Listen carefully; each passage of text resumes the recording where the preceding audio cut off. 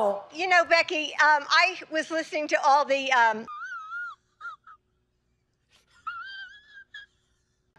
questions and comments that the educators were making.